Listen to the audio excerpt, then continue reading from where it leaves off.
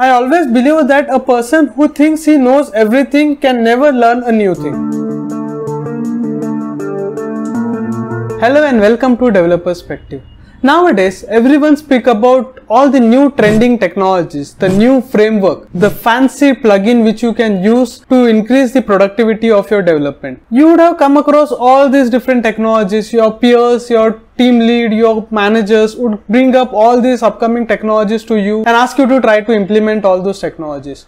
But for me, after working for more than seven years as a software developer, the most important aspect of programming is the way you write your code, the way you implement logics. All these different aspects are the most important things you need to work on to improve your development skill. So today we'll speak about the best things you can do to become a good programmer. So to start with, we'll speak about languages. Okay, if you are a programmer, you would always have come across the term called as language. So in normal term, a language is something used to convey your message or a way to communicate. So in programming world, the language also means the same. So a programming language is something that is used as a tool to convey what you want as an output. So if you want to create a Sudoku game, then you need to know what are the different logic around it and then you need to convey that logic through a medium called as language. So a programming language is a basic tool through which you will be able to build a project or a product from your imagination. So programming language is a building block using which you can create your project. So the ultimate goal of a language is to convey a message. So that is the reason there is no good or bad language the way the language performs is what makes a difference. Okay. Some languages are easy to learn some languages are harder to learn.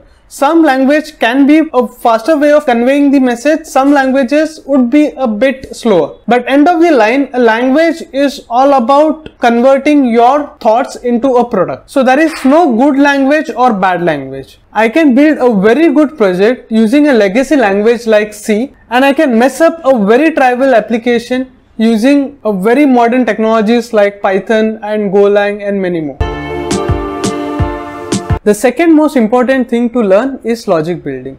See, your application is nothing but a set of logics. Okay, your application will have if condition, your application will have a for condition and that's it. Most of your application will revolve around these basic fundamentals. So all this application development works around the logic building. So always plan to build your logic very precisely. So your logic is what makes your application a good application and the same thing can make your application a worse application to maintain. You would have heard that you need to learn all the new technologies. Whenever a new technology comes out, you are lured into learning that technology. The problem with the developers nowadays are that they want to learn everything but not completely. You will think that expertising in a programming language is not a good thing to do as the technology keeps on changing and the programming language keeps on evolving. Okay, but that is not completely true Expertising into a specific technology or expertising into a specific programming language helps you understand the basics of that programming language.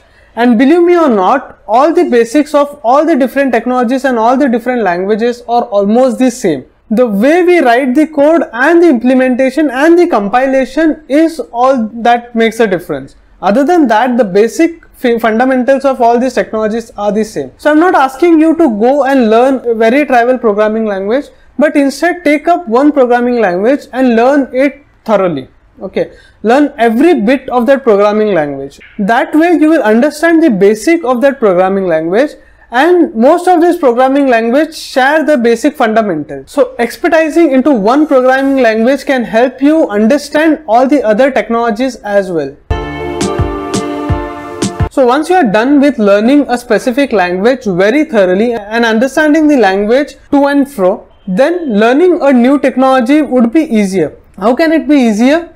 When you learn a new technology, always plan to find links between the old technologies. If you learn C and now you are going for C++, then find a linkage between both of these technologies. So now when you learn C++, you just need to understand all the new features added to the C++ and you can ignore all the other features which are common in C. You can reduce the amount of time you require to learn a new technologies by finding linkage between all the other technologies which you have already learned. So whenever you go for a new technologies, always plan to find linkage and I'm sure that you will find a lot of linkage almost around 75% of all the new programming language share of common basic linkage. You will find same features in C++ which you will find in C and you will find the same different features in Java which you can always uh, trace back to C. Till now you expertised into a specific technologies and you learn new technologies. Okay. Now let's come back to developing. So whenever you build a logic or whenever you program a logic, you make sure that you are developing for the future. So today if I am developing a feature, I'll make sure that I'll keep some place which I can use it tomorrow. If there is an if condition which you plan to implement now, always keep the else condition available okay. So that in future if someone wants to add some condition or someone wants to work on that specific feature he has the puzzles in place. Don't always plan to write only code for a specific task. When you focus on a specific task you don't take everything into consideration. Okay. You can have some changes added in future in that existing task. So make sure you work for tomorrow. And once you are done with your task don't just give up on your improvements. Okay so you should always keep on improving that set of code. You may find a five line of code which you have written five years back that can be very different than what you've been developing now. Okay today the amount of code which you require to write that same specific feature will be very less than what you used to write five years back. And that will only come when you keep on improving and to adhere with this skill of improving you need to always stop copy pasting. It is not always a good practice to keep copy pasting your code. If you plan to create that same set of feature take a reference of that code and keep improving that code. Maybe there are few things which should not be there in, in your code. So always try to improve the same set of code which you have written then the most important aspect about your programming skill is to be proud of what you have developed. Okay. You can never be proud of something which you don't feel is good enough. So always make sure what you write is good for you, at least for you. Make sure that you are satisfied with what you have developed. Okay. Only then you can justify of what you have developed. You cannot always say that I am right and my code is always perfect. It is not an attitude which should be followed and this attitude only will go away if you understand that nothing is perfect and everything has to be improved but never be ashamed of what you have developed okay you should always take pride on what you have developed and the pride will only come when you keep on perfecting and improving your set of code okay never allow anyone to say that this is a piece of crap because it is your innovation, it is your ideation and it is your skills which you put in place and create your code. Okay, it is always your brainchild and never allow anyone to discourage you as a programmer. Everyone is unique and everyone is allowed to use their imagination to write code. So the next thing you need to do is you need to learn the basics of most of the applications. Okay, I don't want you to remember everything but learn the basics of most of the application in the market. The reason being, if you know what are the different technologies, if you know what are the features of most of the technologies, then it will help you vastly to understand what best technology suits your requirement. Okay, so there can be some tasks which require a different set of expertise from a specific language Always keep a repository of all the different technologies in the market that will vastly help you understand what best technology suits your requirement. Okay. So there can be a task which requires a different set of features which is available in a very different technology which you haven't learned. Okay. So the problem is now you miss out a very important aspect of development that is to get the best solution for the task which you do okay. So always keep a basic understanding of all the different technologies so that it will be easier for you to select what different technology suits your requirement. Okay. And i'm not asking you to remember everything. You need to just understand what is available and what is not available in a specific language. Okay. So always keep that repository in place to become a very good developer that will drastically reduce the amount of time you require to develop the specific tool and it will improve the quality of the product as well. So you need to always be a compiler.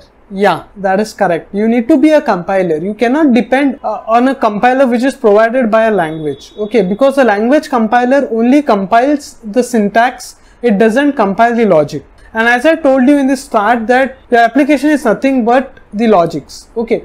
So your compilation will only help you understand what are the syntactical errors. If you depend more on the compilers, then it will increase the amount of time you would require to code because just imagine that if you are writing 10 line of code and every time you write 2 line of code, you need to again compile your application to check if it's working or not. And then you keep on doing that for like 5 different times for that 10 line of code. But if you are your own compiler, then you will understand, okay, these are the 10 line of code which has to be perfected and you just write those code and compile it right away when you write the code and it will increase the efficiency of you writing the code and it will also reduce the amount of time and it will also reduce the amount of issues that can come uh, when you write the code. So to be a good developer the probability is something like this. So higher the number of compilation you do on the basis of your uh, uh compiler the more inefficient developer you are. Okay. So the number of compilation done by you compared to the number of compilation done by your compiler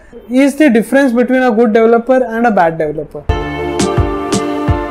The other important skill a developer should have is the ability to imagine. So you should always imagine your code before you start coding. So it, it happens with me that every time I try to code or every time I write a code, before that I make sure that I imagine the entire code what I plan to write. So almost 75% of the entire code is already imagined before I write the code. So that helps me understand the entire logic before I start coding okay and that reduce the amount of iteration or reduce the amount of compilation which I need to do at the time of programming. Just make an imaginary code, find out what are the different type of for loops you would have, what are the different switch cases you will have, what are the different if and else condition which you may have, okay, and then what are the variables which you will be using. So all this imagination will help you write the code faster, okay. So always have an imagination written before you start writing an actual code.